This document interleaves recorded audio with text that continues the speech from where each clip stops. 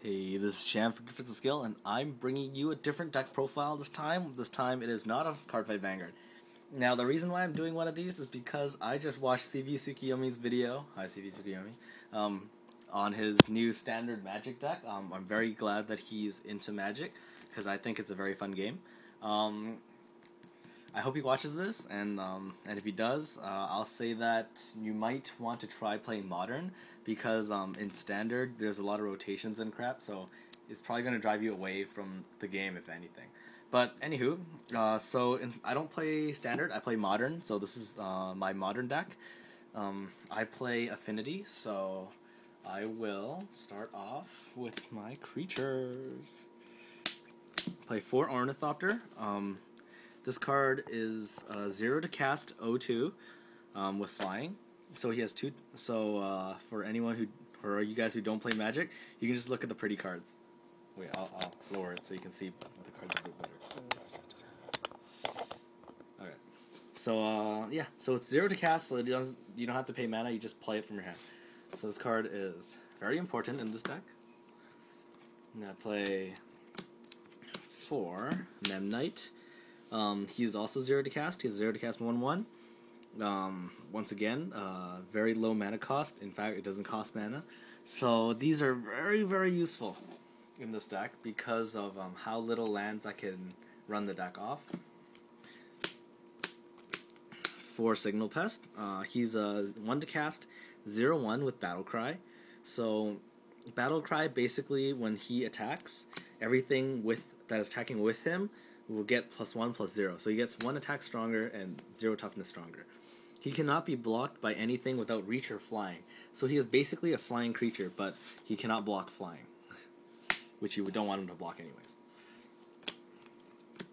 Play four Vault Skirge. Um, he is two to cast, one colorless and one Phyrexian black. So for uh, for Phyrexian black, um, basically it costs either one black mana or two life. So two life is really much nothing for something like this. So essentially, it's a one to cast one one flying life link, and every time you deal damage with this card, you heal the same amount of damage you dealt, which is what life link is. So, so many good cards in this deck. Two Arcbound Ravager is uh, he's one of the key cards. Um, his ability is when he comes into play, when you play him, you can put a one one counter on him, and when he dies, you can put its one one counters on something else. His secondary effect is sacrifice him and put a one one a sacrifice an artifact, put a one one counter on himself. So which basically means if people don't block this card, you can eat up your whole field and put all the power to him. And even if they kill him, you can also put this to put the power to something else. So it's not really wasted. So this card is very very good. I only play two because I'm kind of cheap about it, but I'm probably gonna pick up some more. Play four Steel Overseer. Um, this card is a two to cast one one. Um, you can tap him to give plus one plus one to all artifact creatures you control, and this is a counter, so it lasts forever. So every turn your cards get one one stronger. So he is a very very strong card. Um, a bit slow, but still very good. For cranial plating, uh, this is an artifact equipment. Um, it's two to cast, and it's one to equip. Its a, its equip effect is this card gains plus one plus zero for each artifact you control. Now, as you can see, anything that is colorless is indeed an artifact, or sometimes even with color. So every creature in this deck is an artifact creature, which gives it the affinity of artifact. So if I say I have three artifacts on my field, the target card gets plus three plus zero. Now, you can normally play this on turn one, if not turn two. Definitely turn two if you have in your hand. And um, by that time, you probably have like six, seven artifacts, if not more. So your card is getting plus seven, plus zero. So you're like, yeah, Okay, what does that? So what does that mean? So that means if I put it on this dude, I can attack for nine one, gain nine life and deal nine damage if he doesn't have something that in the air.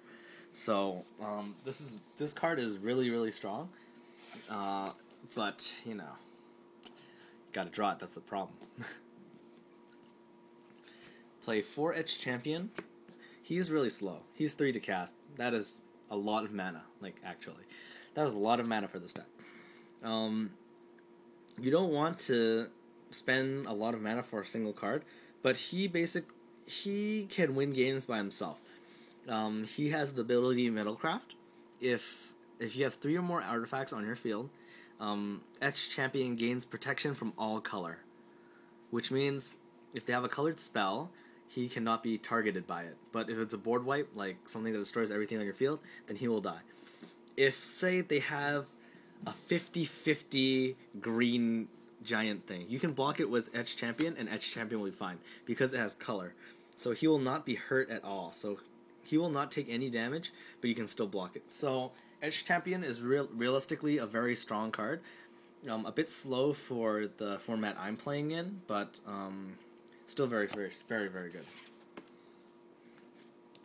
Play three Frogmite. Uh, this card is four to cast, but it has affinity for artifacts. Which affinity affinity for artifacts means that it says on the card actually. Um, this card costs one colorless less to play for each artifact you control. So he will be a 1 to cast or 0 to cast most of the time. So he is um, a 2 2, so 0 to cast 2 2 is very, very strong. Now, um, on to some other cards. Just gonna keep these guys here. Actually, no, you guys can go away. Yeah, you guys can stay up there. Now, um, for spells, I play 4 Galvanic Blast. This is a 1 to cast card. It deals 2 damage to target creature or player and has Metalcraft. If you have 3 or more artifacts, this card deals 4 damage instead. So 1 to cast 4 damage is really, really powerful. It's about as strong as any burn spell, I think. I think this is the strongest 1 to cast burn spell there is. I think it is. I'm not sure. There might be some crazy legacy stuff. And to play 3 Thoughtcast. Um, this is a 5 to cast. 5. But has affinity for artifact. Which means that it costs, once again, one less colorless for each card you control. Most of the time, it's a one to cast, um, and you one to cast, draw two cards. It's very, very good. Because um, since all your cards are artifacts, you're gonna have a lot of them. so, uh, for land, I play four Inkmoth Nexus. Uh, this land gives you one colorless mana when you tap it. You can pay one mana and this card becomes a 1 1 Blink Moth artifact creature with flying and infect. So, um, that's a mouthful. So, uh, what does it do? So, he's your, it's a land, and then you pay one, so you tap this one, and then he becomes a creature, a 1 1 flying, um, with infect. Now, what is infect for people who don't know? Infect is basically a different uh, win condition. If your opponent uh, loses all his life, he loses, or if he has he has 10 poison counters which are given by infect. So you attack for this. He is a 1 1, whatever. Remember this card? He is now like, I don't know, 9 9 1. Damn. He is almost dead.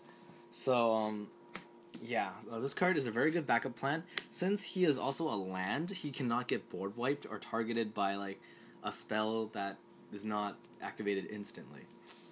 So yeah, this is a good alternate win condition. I play four Darksteel Citadel. Uh, this card is an artifact land, so it counts as an artifact. It is indestructible, which is whatever, and um, it taps for one colorless. So, real, uh, you just it's just good because it's an artifact land. Um, so yeah, I play four mountain three, uh, three, three mountain and three islands.